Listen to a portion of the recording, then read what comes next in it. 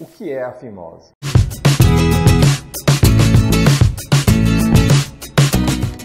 A fimose é a ausência de exposição da glande, ou seja, da cabeça do pênis. Então, a, a, o prepúcio, que é aquela pele que recobre o pênis, ela envolve completamente a extremidade, a cabeça do pênis, e não deixa visualizar aquela região. Isso é a fimose. Por que acontece? Bem, isso faz parte do processo fisiológico, natural, embrionário do bebê. Dentro da barriga da mãe, né, na formação da genitália, o prepúcio, essa pele, ela nasce, surge histologicamente aderida, ou seja, na parte lá da criação, surgimento dos tecidos, da pele, ela surge aderida à glande. Então é extremamente normal. Quando o bebê nasce, praticamente 100%, dá em torno de 97% dos bebês têm fimose ao nascer. São pouquíssimos casos que não têm. E como evolui? Bem, isso vai evoluir de maneira bem variada. Estudos prospectivos, ou seja, são aqueles estudos que acompanham pacientes a longo prazo, visitam, né, são pacientes que são é, examinados em momentos diferentes ao longo de anos da vida. Esses estudos são excelentes e esses estudos prospectivos mostram que existe uma variação muito grande de quando essa fimose se resolve. Alguns meninos podem, aos dois anos, três anos de idade, já ter completamente a exposição da glande, conseguir tracionar esse prepúcio. Outros vão chegar aos quatro, seis anos e só aí conseguirão. E existem também aqueles casos de 8, 10 anos de idade, alguns adolescentes podendo chegar até a adolescência, né? quando entram na adolescência, que conseguem tracionar o prepúcio e expor completamente a glande. Como eu faço a higiene, o exercício, a massagem?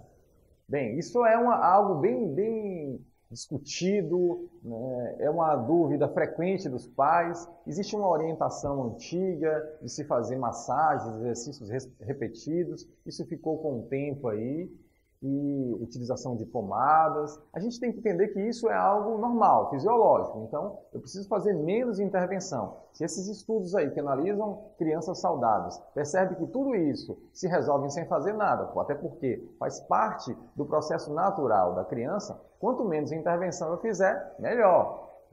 Esses exercícios, essas massagens, se forem feitas com tração né, forçada, um exercício mais vigoroso pode machucar a criança e até é, cicatrizar esse prepúcio, essa pele, dificultando a exposição da glande e aí sim que a gente teria uma chamada fimose patológica.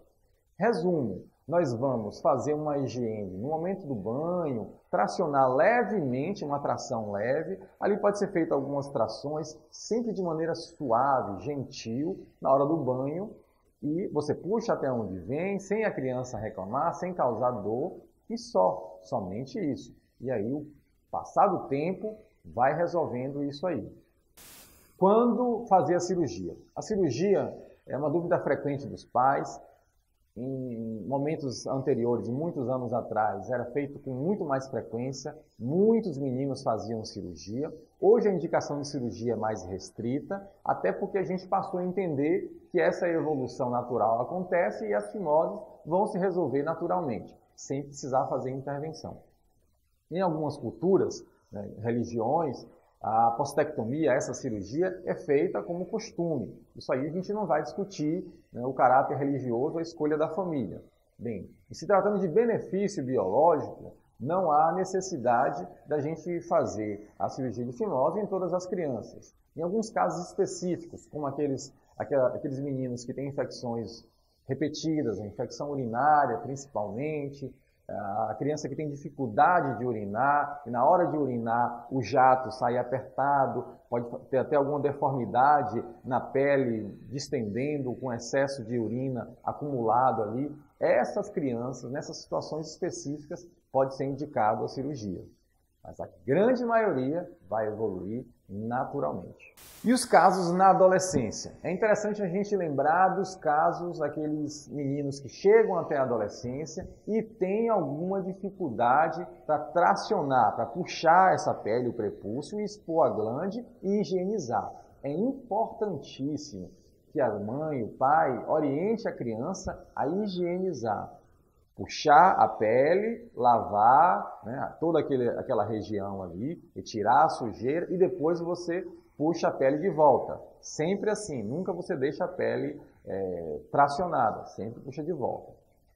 Essas crianças na adolescência podem ter algum grau de dificuldade, desconforto e até mesmo nas crianças mais velhas, já chegando na idade adulta, pode ter desconforto também na relação sexual e aí, neste momento, também pode ser ponderado a cirurgia.